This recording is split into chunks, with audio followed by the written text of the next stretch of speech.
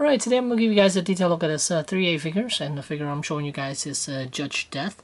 And uh, it comes with uh, comes in this packaging. Uh, not too happy with uh, the packaging because it is not collector's friendly. And it comes with the figure and two extra hands. And on the back of the packaging, you can see another drawing of Judge Death, 2000 AD, right there by 3A. So let's take a look at the figure itself. Alright, and here's the figure outside the packaging. And I really like the look of this uh, character. Um, not familiar with the comics, but uh, I do really like the look of this. And there's the backside of him. And uh, he has uh, really, really cool shoulder armors. And uh, the elbow pads and knee pads. Uh, quite nice. And I do like the fact that he it's uh, kind of zombie looking. And uh, he's got a grinning smile on his face too. Just awesome. And uh, he does have a cloth suit where he's uh, he's wearing a cloth suit uh, with uh, pieces over it. Unlike the uh, one, the shoulder pads are not removable. They are on a ball joint type uh, system. I guess uh, technically eh, you can remove it if you really try, but uh, it's not recommended. And um, the badge is not removable; it's glued on, and uh, the elbow pads are attached on, and uh, same with the belt and the knee pads.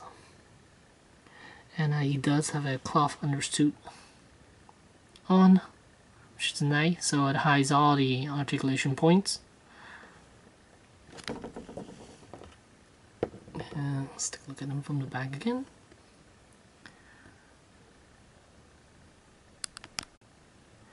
And as far as range of motion, uh, he's got really good toes articulation. Uh, the knees are okay. I mean, the the, the ankles are okay. Uh, the knees, yeah, you can bend about almost. Well, you could, you could, yeah, you could uh, go about almost 90 degrees. Uh, the hips are a little um, uh, disappointing because uh, uh, Uh, it is impeded uh, by the large belt buckle and uh, it blocks where his leg come up and also the suit doesn't help that much either. And one thing I do like about the hips is uh, the joints are really, really stiff, which is nice. And then uh, uh, as far as the waist, there's a ball joint.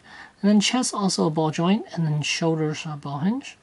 And elbows, ball hinge, I believe, and then wrists are on a ball joint. Actually, uh, elbows on a hinge joint, and then there is a bicep swivel joint. And then the head is also on a ball joint. Uh, one thing I uh, don't like uh, to have a complaint issue uh, with is the shoulder. Um, you can see how loose it is. The shoulder joint, it does uh, doesn't uh, stay up. Uh, his arm doesn't stay up uh, on his uh, right side. The left side can stay up uh, fairly well, but on the left side you can see falls right back down. And you can still give him like a zombie looking pose uh, where he's uh, charging at you. kind of nice. Um, shoulder pads sometimes does get, does get in the way uh, of the articulation, but uh, not that bad. Uh, one thing you gotta watch out for is this, uh, it's the side shoulder pad here. Um, the bird itself has a little tail that's sticking out, and you gotta be careful not to break that piece. Uh, but overall, it is a very, very good looking uh, Judge Death figure. Um, I think we have gotten uh, a Judge Death figure before, not sure from which company, but uh, if you don't already have one, uh, this is a very good one to get. Uh, it's gonna set you back about 65 bucks, I believe, somewhere around there, uh, which is about the norm for um, for 3A uh, figures. they range from 40 to 65, somewhere around there, for 112 figures. And uh, one thing I do really enjoy is uh, taking photos with this figure because uh, uh, this is a